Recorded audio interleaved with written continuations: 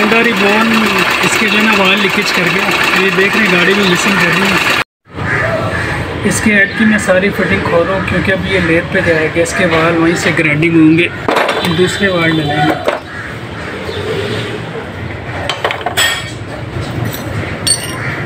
ये सारा मैंने टुकड़ा टुकड़ा कर दिया इसको ये देख रहे हैं सवाल बस सिविक इसका हेड तैयार कर रहे हैं हम। तो सबसे पहले इसके ये जो कैप है ना नीचे वाले, इस पर आगे स्प्रिंग ठहरते हैं ये लगा लें, उसके बाद बाल छीने लगा लें। बाल छीनों को भी हल्का हल्का ऑयल लगा के ना तो फिर बैठाएँ इजीली बैठ जाएँगे।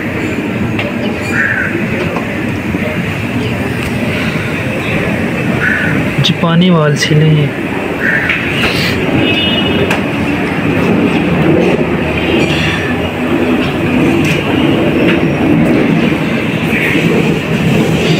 बड़ी टेक्निक से बैठती हैं, अंगूठे से दबा के।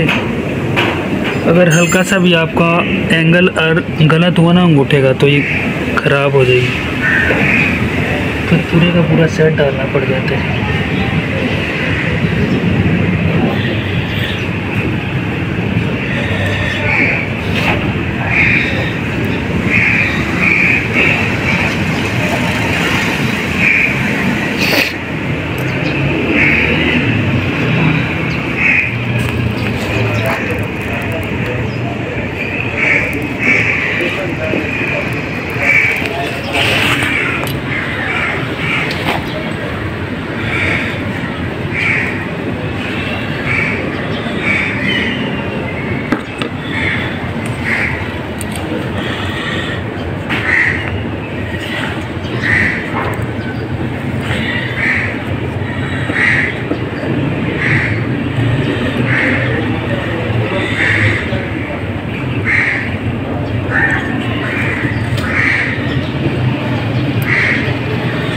ये लास्ट है।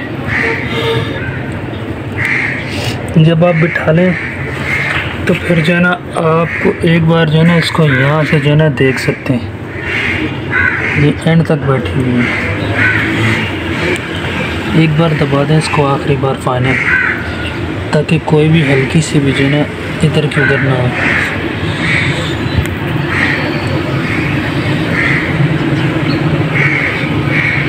ठीक है अब हम इसमें वाल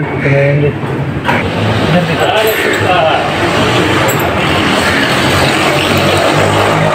ये वाल हालाँकि वहाँ से लेथ वाले से जो है ना बन के हैं।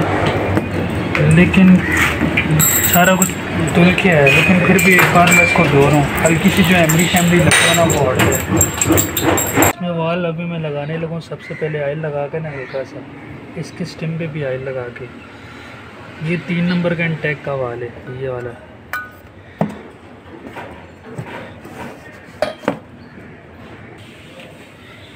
सारे वाल जो ना अपने आयल लगा के लगाने और नंबर वाइज लगाने इन पे देख रहे हैं नंबर लिखे हुए हैं इन पे नंबर लिखे हुए। ये छः नंबर का।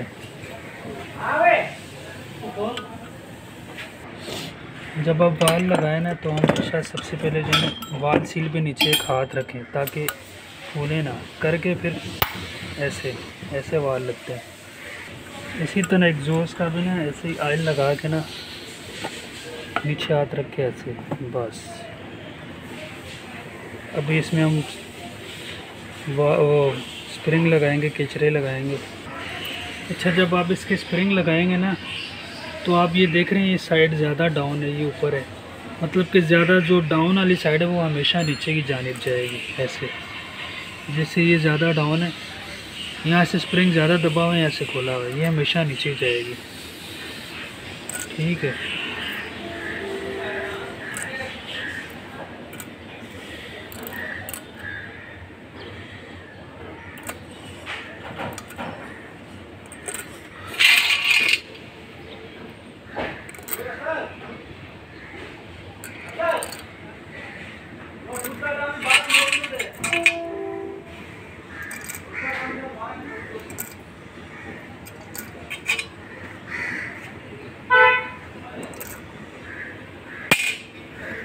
अब इसके हम बाल बाल कटोरियाँ लगा के केचर लॉक लगाएँगे।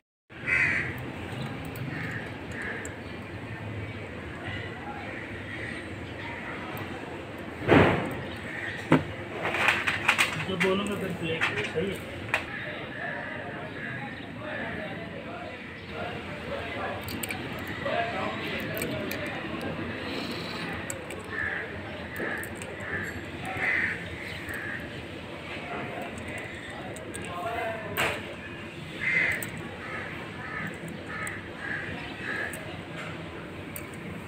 इस कटोरी के अंदर वाल, केचर लोग बैठते हैं।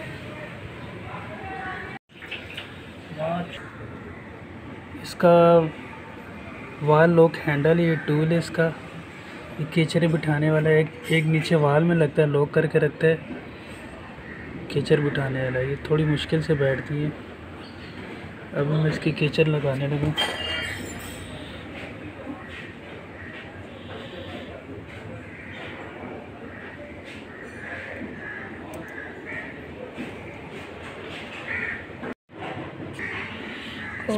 इसमें मैंने किचरे बिठा दिए। अब इजीली इसको जो ना आप फ्री कर दो ये बेड की केचर ये वाल लिफ्टर है थोड़ा मुश्किल है, लेकिन बैठ जाती हैं इससे।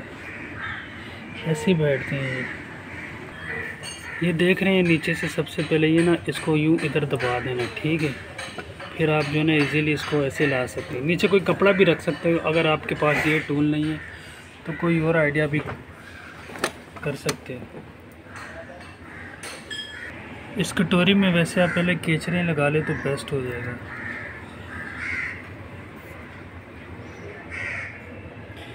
क्योंकि इजीली फिर वो आपको दोबारा डालनी नहीं पड़ेगी केचरे। बाद में मुश्किल होती है क्योंकि इसमें जगह कम है ना। केचरे बिठा के फिर इसको, इस वाल लिफ्टर को इसके अंदर ऐसे, ठीक है? इसको टाइट कर देना।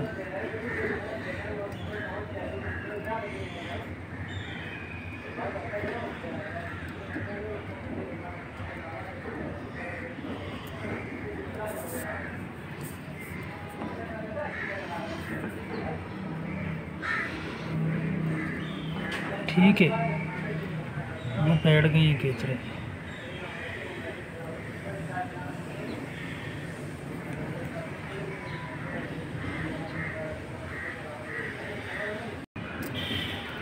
इसी तरह ये केचर भी हम ऐसे ही उठाएँगे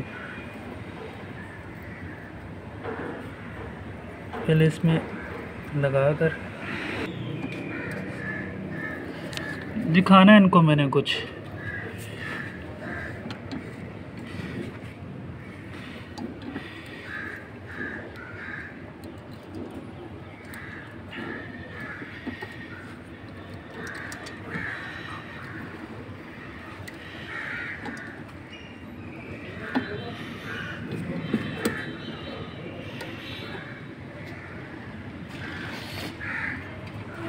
इसके लिए आप हाथ में कुछ लेवर लेने इजीली ताकि बैठ सके इसमें।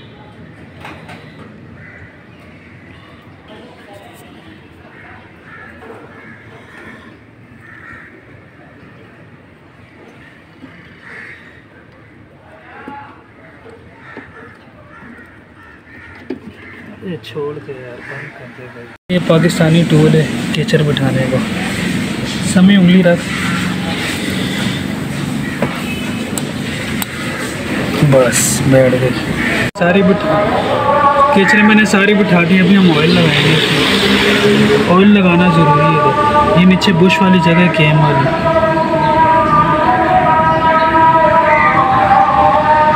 ठीक है। अभी हम केम बिठाने लगे इसका।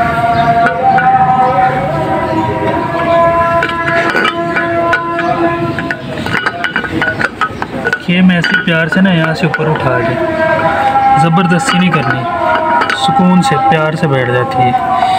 ये बैठ चुकी है हमारी कैम ठीक है। कैम बिठा करना, फिर आप इसकी पीछे वाली टिकली लगा देना। इसमें एक हॉल दे रहे हैं। ये सेंसर के लिए टाइमिंग सेंसर इधर क्रैंक सेंसर लगता है, देख रहे हैं। सॉरी कैम सेंसर ये जगह दी हुई है।